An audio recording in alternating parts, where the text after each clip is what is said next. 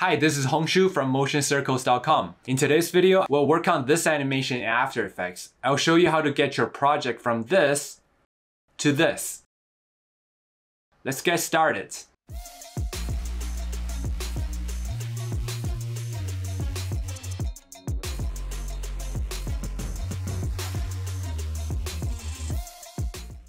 First, let's create a composition 1080 by 1920, click OK, and go back to Illustrator. This is my crown here. I'm going to use Overlord to push all these shapes inside After Effects.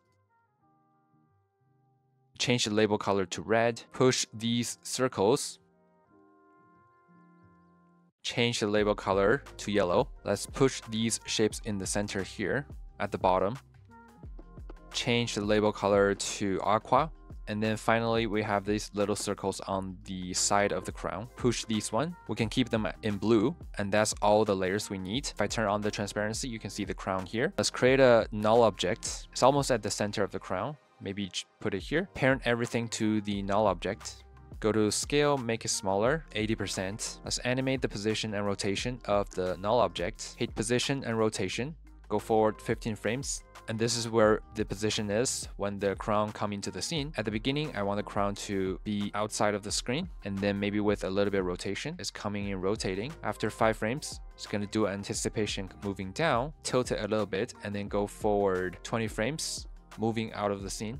And then the anticipation, I want it to come the other way around here and then when it's going out I'm gonna go rotate it like this okay that's good and then right click easy ease adjust the curves here. Let's do a curve like this at the beginning. And then I'm gonna just adjust this curve here shooting out. And the middle could be slightly adjusted like this. Let's see the animation here.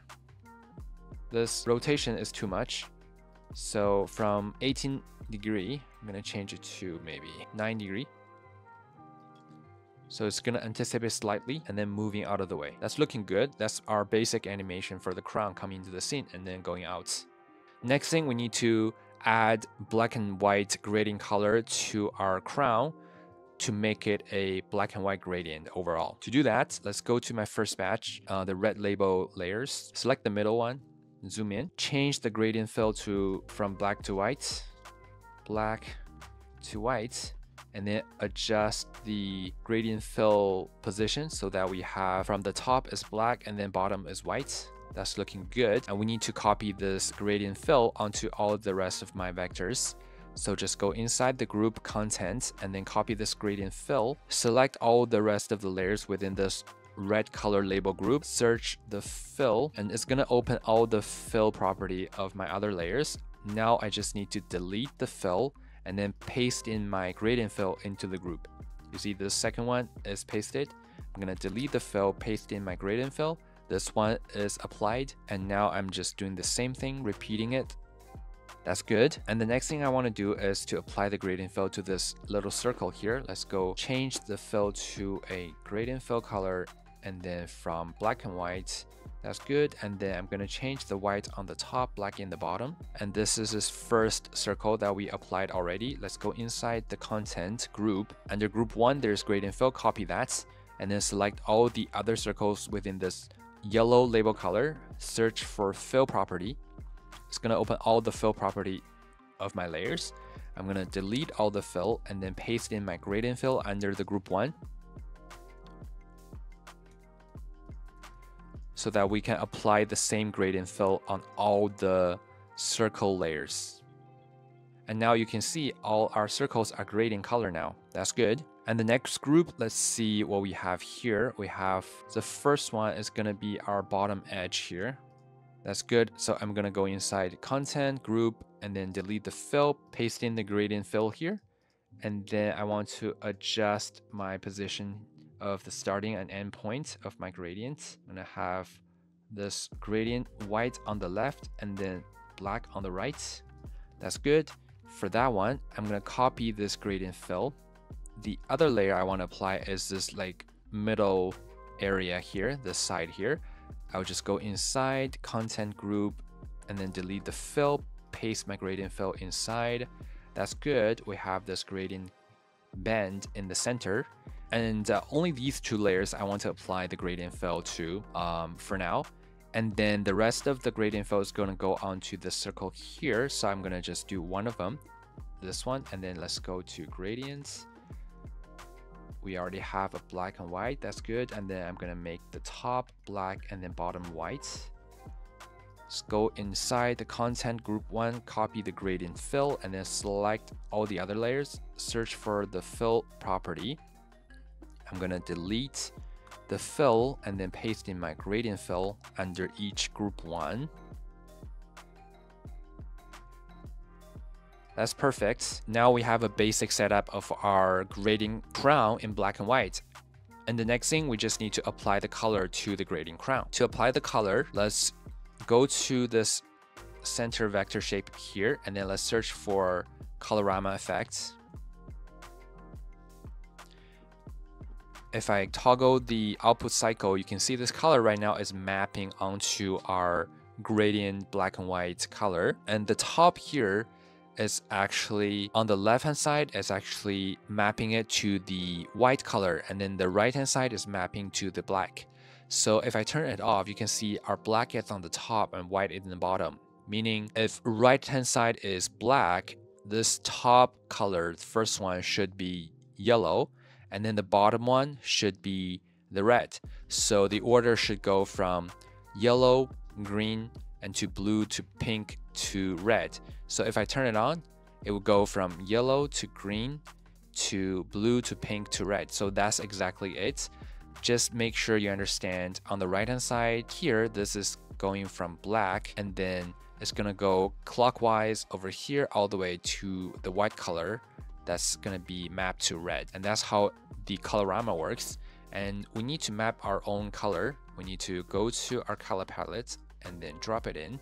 I'm just gonna double click and then sample my color here one by one. We're only using five color instead of six. I'm going to delete one of those. So now we have a colorama like this one here. That's looking great. And now we just need to animate this. To animate this, let's go to input phase and then let's animate the phase shift. If I change the value here, it's actually toggling or rotating these colors we have from this color wheel. And this is how we animate it. So let's change it to zero for now. I want to line up with my null object. So go over here, I want this point to be zero and then at the beginning it could be a one round of rotation. So when the circle is moving up I'm soloing this layer to see it better. When this shape is coming up the color is going down and then go for a couple frames to align with this keyframe here. At this point I'm gonna change it to negative 180 so there's a little bit anticipation. The crown is going down so the color is going up. And then the last one would be at this point. So we have a negative one around um, negative 180 degrees. So that's going to be the value. Let's paste in the easing and see the animation here. Before we continue, make sure to like this video and subscribe to the channel. We will publish new content every week. Click the subscribe button to level up your animation skills and get inspired with great animation every week. You can also join our exclusive community to hang out with motion designers to grow together. Check the link in the description below. Now that we have one layer set up, it's very easy now. We just need to copy the colorama effects. Select the colorama, copy it, and then paste it onto all the other shape, shapes within this red label color group. And now we should have all the layers here animate it. And then the next thing we need to do is to copy the same colorama effect and paste it onto all these yellow label color group, which is the circle. Let's copy and paste that. And now let's see the animation. We don't need to reanimate the colorama anymore. We just use the exact same colorama to paste onto all these layers, which is super efficient. Now we have animation on the circle now. Now in this group here, we need to add colorama onto two layers. So it's going to be these two layers. I'm going to change the label color to maybe a green color for better visibility. Now we just paste in the colorama at zero second and then paste in the colorama at zero second on this layer here. So let's take a look at this one here. We have a glowing gradient edge to our crown and then we have this middle band here. That's good. And the last thing we want to do is to paste in the colorama to apply to all these little circles on the side. I'm going to select all the circles, go to zero second, paste in the colorama. And then now we have all the circles over here. That's good. Let's see the animation of what we have after we apply colorama effects. I think that looks super cool. And the last thing we need to do is to add some gradient onto the edges so that we can distinguish the 3D shape that we have here. And all we need to do is to go apply color one by one. Let's come to this one and then let's turn on my color palette here. This first here, I want to change it to a gradient color and then let's go to add a gradient. The middle could be this darker purple and then the side could be a lighter purple like this one here. Click on OK and then I'm going to change the gradient angle to give it a 3D looking effect. And then let's go copy the gradient color that we did for this layer here and paste it onto the bottom layer. I can turn off the color palette now. Just go inside the content group, delete the fill, paste in the gradients. And this thing, I think without adjusting the position, it's already looking pretty cool. And the next thing here, we need to add a little bit of color let me turn on the color palette again, move it up. So for this one, we're gonna use a different gradient here. Just let's try a darker purple to a purple and then to this pink color and then to this beige color here. gonna have this gradient color here. Drag this one all the way out and then drag this one all the way to the left.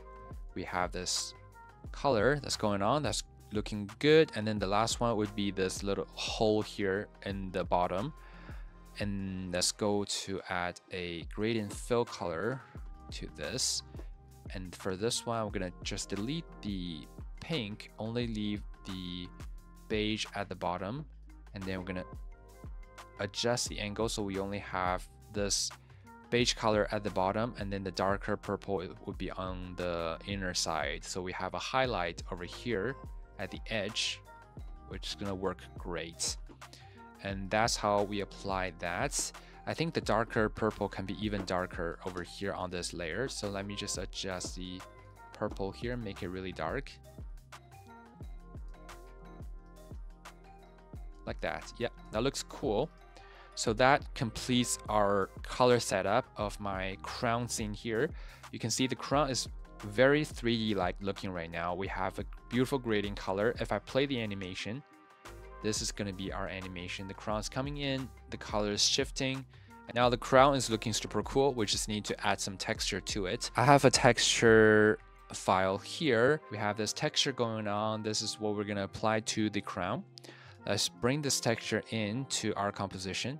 It's going to fill the whole scene, but we can actually use this preserve underlying transparency to only apply it to the crown right now for now. And then we can do a invert of the color. And then we're gonna do a tint. So for the black we're gonna map it to the darker purple here and then the white we're gonna map it to the yellow so that's gonna be our texture and overall, we're to change the transparency mode to overlay, and that's to apply the texture onto our crown. Now the texture is too overpowering, so we're to change the transparency mode to maybe 30% to make it less obvious. Very subtle texture that's applied onto our crown here. And uh, to complete the animation, I'm just to drag down my background animation here. I'm just to go in to drag my backgrounds. Very simple background animation, just some color shifting in the backgrounds, whatever you want to do. I'm using Colorama again over here. And then we're to also add in some smoke animation like this one here. I'm to change the color of the smoke a little bit to this like beige color. And this is going to be our smoke coming on when we are shooting this crown into the scene and the smoke is very easy to do. Uh, I basically created this shape animation and then I arrange them differently in different sizes and different position and we're adding an extract effect and also a turbulence displace and that's and also a fastbox blur and that's how we create the smoke. And now we have the smoke we have this crown going on. And the last couple of things we want to add is just some adjustment layers. Let's say this one we're using compound blur. By using this fastbox blur layer I'm drawing like these three different shapes. And I'm using this three different shapes as a blur for the scene whenever the crown is overlapping with my shape layer here it's going to be blurred on the edges. So just so we can add some detail to it. And then that's going to be the compound blur. And then the top layer we're having is a curve just dragging the lightness down a bit. And then we're using a deep glow effect to add some glow to the crown. And after we set up everything let's take a look at our final animation here